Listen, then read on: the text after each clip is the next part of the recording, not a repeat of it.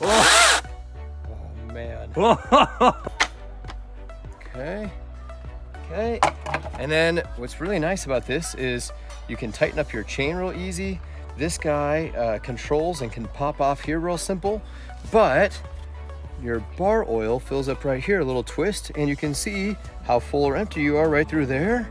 Really convenient. My last chainsaw didn't have a little viewing window for the bar oil, I just had to guess. So, um, 16 inch blade, 60 Yeah. watt. yeah.